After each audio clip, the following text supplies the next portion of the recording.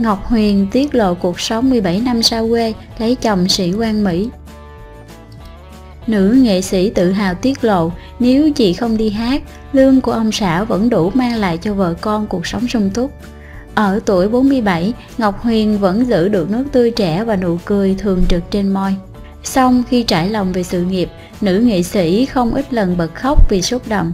Chị cho biết thầm cảm ơn khán giả và đồng nghiệp đã luôn theo dõi, động viên và ủng hộ dù chị sống xa quê hương 17 năm. Khi được hỏi về những chuyện không hay trong quá khứ, Ngọc Huyền từ chối chia sẻ. Chị thừa nhận bản thân là người hoạt động giải trí nhưng ghét ồn ào và thị phi. Bà mẹ hai con hiện sống và nỗ lực cho tương lai, quá khứ xin phép được gác lại. Khán giả thương tôi lắm. Sự nghiệp đang ở đỉnh cao, điều gì khiến chị quyết định sang Mỹ định cư? Khi ông xã tôi chưa bao giờ nghĩ đến chuyện sẽ sang nước ngoài sinh sống. Tôi và ông xã yêu nhau từ đầu năm 2002 và kết hôn vào cuối năm. Ông xã là con trai của nữ danh ca Thanh Tuyền. Tháng 12 năm nay, chúng tôi kỷ niệm đúng 15 năm về chung một nhà. Anh nói với tôi rằng, em cứ thoải mái tiếp tục sự nghiệp của mình, khi nào có thời gian rảnh thì sang thăm anh. Đến bây giờ, tôi nghĩ đó là một giấc mơ. Chấp nhận đến với anh, tôi nêu rõ quan điểm mình sẽ sống ở Việt Nam, anh làm việc tại Mỹ. Tôi là người phụ nữ mới, cách sống hiện đại không ràng buộc lẫn nhau. Ông xã tôi cũng vậy, anh học cách sống tự do, hiểu suy nghĩ của vợ và không hề gia trưởng. Tuy nhiên, khi con gái Hà Tiên chào đời, tôi mới cảm nhận được sự hình thành của một mái ấm gia đình nên quyết định sang Mỹ. Thật ra, tôi vẫn di chuyển qua lại giữa Việt Nam và Mỹ thường xuyên. Một nghệ sĩ nổi tiếng tại Việt Nam khi qua đây sẽ khá đắt xô, nhưng tôi từ chối các lời mời và chọn về nước biểu diễn. Lý do là tôi nhớ khán giả, đồng nghiệp của mình. Khi bé Hà Tiên được một tuổi, chuyến bay về nước dần ít hơn. Tôi phải dành thời gian nhiều hơn cho gia đình và con. Đó là nguyên nhân khiến cho tôi quyết định làm giấy tờ định cư tại Mỹ. Sang Mỹ định cư, cuộc sống chăm sóc con cái và gia đình của chị có gặp nhiều biến đổi, trở ngại. Bên Mỹ tôi không có người giúp việc nên bản thân phải tự làm mọi thứ. Dù vất vả nhưng tôi cảm thấy hay, bản thân trưởng thành hơn nhiều. Lúc trước tại Việt Nam, khi đi lại tôi có tài xế hoặc người thân đưa đón, còn sang Mỹ tôi phải học lái xe. Khi có con, tôi học cách làm mẹ, chăm sóc dạy dỗ chúng và hàng nghìn việc phải tự làm. Sau đó các show diễn từ thiện tại chùa, nhà thờ mời tôi nhận lời. Thời điểm đó tôi yêu con quá nên không thể nở để con ở nhà một mình đi lưu diễn xa. Suốt 17 năm không biểu diễn tại quê nhà, chỉ có từng sợ khán giả sẽ lãng quên cái tên Ngọc Huyền khi con gái 2 tuổi, tôi cho cháu vào trường học, bản thân có thời gian suy nghĩ và định hướng về nghề nghiệp. Sau quê hương 17 năm, tôi học sự chấp nhận từ giáo lý Phật giáo. Nếu tôi không còn hát trên sân khấu hay không được khán giả yêu mến, thì đó cũng là sự chấp nhận. Tôi nghĩ điều đó đến với mình sớm hoặc muộn mà thôi. Song tôi luôn quan niệm hãy sống và yêu nghề bằng cả trái tim, việc gì đến sẽ đến. Tại các viện dưỡng lão, các cô chú sức khỏe không cho phép, xong họ vẫn hát. Chứng kiến điều này tôi thấy vui lắm, nhưng cũng liên tưởng đến mình khi về già. Vì vậy tôi học được mọi thứ ở chữ chấp nhận. Lần đầu tiên về Việt Nam biểu diễn sau 17 năm vắng bóng, khán giả đón nhận chị ra sao? Khán giả thương tôi lắm, thú thật, khán giả là nguồn động lực to lớn cho tôi trở lại quê hương biểu diễn. Trái tim thổn thức, yêu là một lẽ nhưng nếu không có tình yêu từ bạn bè đồng nghiệp khán giả thì tôi khẳng định bản thân sẽ không đủ điều kiện về tinh thần thời gian để sống với nghề. Ông xã là chỗ dựa vững chắc. Thời điểm khó khăn xảy ra ông xã có góp ý gì cho chị về sự nghiệp? Thật sự ông xã không có một yêu cầu hay đưa ra điều kiện để bắt vợ phải lựa chọn, song anh luôn là chỗ dựa tinh thần vững chắc cho tôi khi xảy ra sự cố. Những lúc như vậy, anh thường ôm tôi và dỗ dành. Anh cũng theo Phật giáo nên cả hai khá tương đồng về mọi mặt quan điểm. Tôi học ở anh nhiều thứ, anh hay khuyên tôi, cuộc đời luôn có những khúc quanh rồi mọi chuyện cũng sẽ qua, em quyết định như thế nào anh đều ủng hộ. Chính vì vậy, tôi có những dự án trong tương lai luôn được anh ủng hộ hết mình. Về chồng, tôi chỉ biết nói, em thương anh nhiều lắm. Chị có thể giới thiệu về một nửa của đời mình. Nghề nghiệp chuyên môn của anh là IT công nghệ thông tin. Khi tốt nghiệp đại học, anh vào quân đội làm sĩ quan và cấp bậc trung tá. Anh làm việc cho chính phủ Mỹ và không phải ra chiến trận hay đi theo sự chỉ huy của quân đội. Hiện anh về hưu, có thời gian quan tâm con cái nhiều hơn, cũng có lúc tôi có cơ hội thực hiện hoài bão về Việt Nam hát.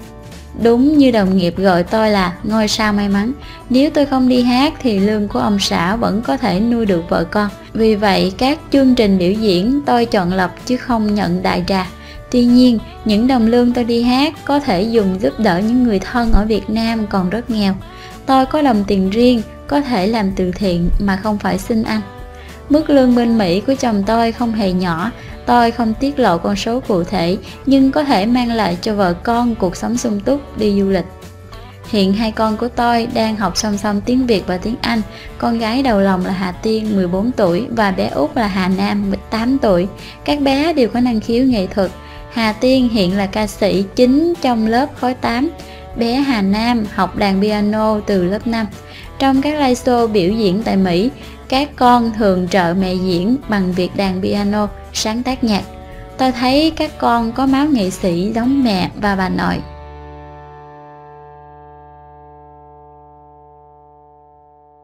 Kim Tử Long Ngọc Quyền tiếp tục sai đóng với sự án phi đao được cấp phép biểu diễn tại quê nhà sau 15 năm gián đoạn, lần đầu tiên Ngọc Huyền sẽ diễn trọn vở cải lương trên sân khấu Hòa Bình, thành phố Hồ Chí Minh tối ngày 23 tháng 12.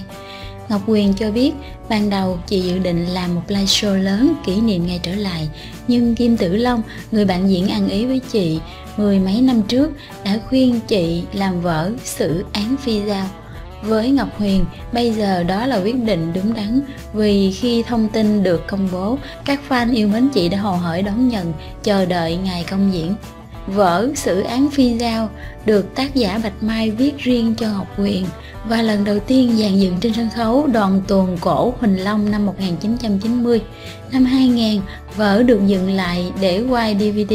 Năm 2003, Kim Tử Long dựng vở diễn ở rạp Hưng Đạo sau đó Ngọc Huyền gián đoạn với nàng Phi Giao cho đến hôm nay. Ngọc Huyền chia sẻ khi ra hải ngoại, chị chủ yếu hát tân nhạc nhiều hơn là cải lương.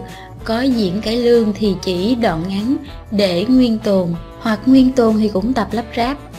Chị xúc động nói, tôi đã quá tuổi mộng mơ, nhưng trong những ngày tập vừa qua, anh Kim Tử Long, chị Bạch Mai, mọi người trong ekip đã và đang xây dựng một thiết kế sân khấu từ âm thanh, ánh sáng, trang phục, một vở diễn chỉnh chu, nghiêm túc để tôi được viết tiếp những ước mơ đẹp, những khát khao hoài bão trong nghề. Ngọc Quyền chia sẻ thêm vì đây là vai diễn nặng cả về tâm lý lẫn hình thức biểu diễn nên chị tăng cường tập luyện thể dục, chạy bộ, tập tạ để đủ sức biểu diễn tối ngày 23 tháng 12. Các nghệ sĩ cho biết, để đem đến cảm xúc trọn vẹn cho khán giả, toàn bộ diễn viên của vở sẽ hát sống không nhép. Nghệ sĩ ưu tú Kim Tử Long, bạn diễn ăn ý với Ngọc Huyền là anh Tôn, khó thay thế của nàng Phi Giao từ năm 1990 đến nay, sẽ là người dàn dựng vở xử án Phi Giao tối ngày 23 tháng 12. Anh cho biết, từ bản dựng ban đầu của chị Bạch Mai, ta đã trao đổi để chỉnh sửa cho vở diễn xúc tích hấp dẫn hơn. Kịch bản sẽ được đầu tư hơn cho chuyện tình Hoàng đế Anh Tôn và Phi Giao, lý giải có tình có lý hơn vì sao Phi Giao trở nên ác độc. Người ta hay nói cải lương còn chưa phù hợp với giới trẻ nên tôi muốn có sự đầu tư kỹ lưỡng. Thiết kế sân khấu kết hợp với màn hình LED với những cảnh trí thật đẹp của cải lương Âm nhạc được nhạc sĩ Minh Tâm đầu tư hơn nữa, trang phục may mới hoàn toàn và dàn dựng có sự chăm chút để thuyết phục được khán giả cải lương, đặc biệt là khán giả trẻ. Về số tiền đầu tư cho show diễn, Kim Tử Lâm cho biết bây giờ anh cũng chưa thể thống kê, nhưng chi phí cứng là ngoài 400 triệu đồng. Các nghệ sĩ tham gia đều trên tinh thần chia sẻ. Tuy nhiên, rất mừng lượng vé bán ra hiện đạt đã 60%, giá vé từ 200 đến 1 triệu 500 đồng trên một vé. Vở diễn sẽ có sự tham gia của các nghệ sĩ Trường Sơn, Thanh Hằng, Linh Tâm, Kim Tiểu Long, Trinh Trinh, Chí Bảo, Lê Thanh Bảo, Điền Trung, Hiếu Cảnh, Tô Châu, ca sĩ quốc đại, 30 diễn viên múa, 20 cascader,